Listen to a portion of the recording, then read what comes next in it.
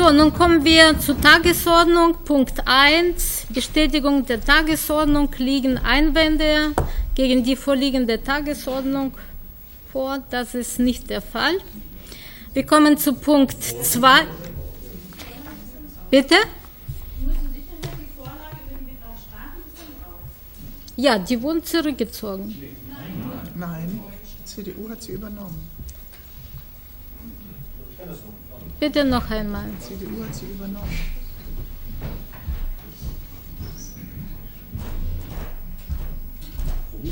Herren, Also richtig ist, dass ein Tagesordnungspunkt nicht einfach von der Tagesordnung verschwinden kann. Das heißt, den kann die Verwaltung auch nicht zurückziehen. Und zu diesem, unter diesem Tagesordnungspunkt können Anträge gestellt werden, wie wir lustig sind. Und ich habe gerade gesagt, die CDU-Fraktion stellt diese Vorlage, die die Verwaltung zurückgezogen hat, zur Abstimmung. Und das ist jetzt unsere Vorlage, aber mit dem gleichen Inhalt. Und ich sehe es genauso. Der, wir, wir, wir vertun uns nichts, das zu beschließen. Im Gegenteil, und wenn wir es nicht tun, gehen wir die Gefahr ein, dass wir Wochen verlieren. Stimmen wir inhaltlich völlig überein. Danke. Sollen wir die abstimmen, diesen Antrag? Ja, die CDU-Fraktion hat Antrag gestellt, dass die beide äh, Vorlagen von der CDU übernommen werden. Diesen Antrag muss von der Ratsversammlung abgestimmt werden. Nee, die wird jetzt nicht zurückgezogen, die, die bleibt auf der Tagesordnung. Gut, Die bleibt, die, die bleibt unter. Gut, dann unter- bleibt äh, Punkt 14 und Punkt 14.1 als ähm, auf der Tagesordnung bestehen. Wir kommen zu Punkt 2, Bekanntgabe der nicht öffentlich gefassten Beschlüsse der letzten Sitzung. Die Ratsversammlung hat im nicht öffentlichen Teil keine, äh, in äh, der letzten Sitzung keine Beschlüsse gefasst. Punkt 3, Einwohnerfragestunden. Es liegen keine Einwohnerfragen vor. Punkt 4, Genehmigung der Niederschrift über den öffentlichen Teil der 22. Sitzung vom 10.09.2015. Es liegen keine Änderungsanträge vor. Und damit ist die Niederschrift der öffentlichen, des öffentlichen Teils von der Sitzung am 10.09. genehmigt. Wir kommen zu Punkt 5. Mitteilungen der Stadtpräsidentin. Ich habe eine kleine.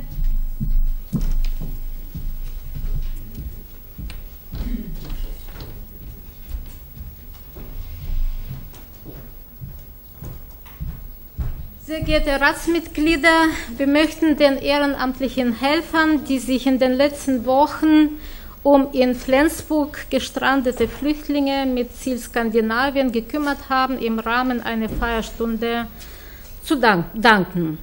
Feierstunde seitens Helfer wurde der Wunsch geäußert, dass diese Feierstunde im Raum von Bahnhof stattfindet. Und wir werden im Oktober diese Feierstunde in diesem Raum auch organisieren. Es ist richtig, dass Flensburg für die uns vom Land zugewiesenen Flüchtlinge zuständig ist. Es ist aber auch richtig, dass für die am Bahnhof gestrandete Flüchtlinge auch das Land zuständig ist. Und eigentlich bräuchten wir noch eine weitere Feierstunde. Es sind nämlich nicht nur ehrenamtliche Helfer rund um den Bahnhof, sondern viele Menschen in Flensburg, die viel Gutes für Flüchtlinge tun.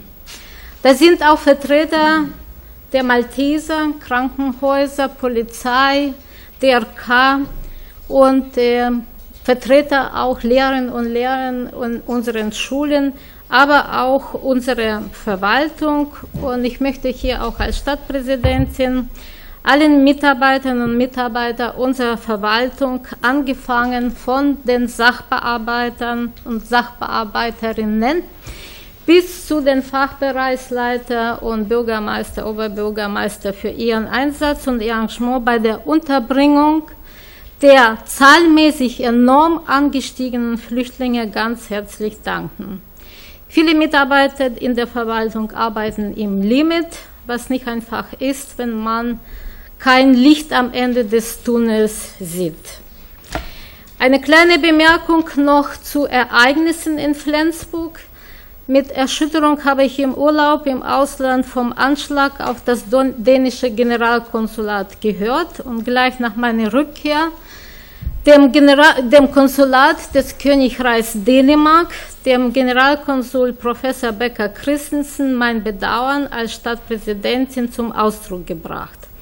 In meinem Schreiben heißt es, und ich hoffe, das auch in Ihrem Sinne, dass Flensburg, Flensburg ist eine Stadt mit einem reichen dänischen kulturellen Erbe, ein gutes Verhältnis zwischen unseren beiden Staaten, Deutschland und Königreich Dänemark, und deren Bürgerinnen und Bürgern hat für Flensburg höchste Priorität.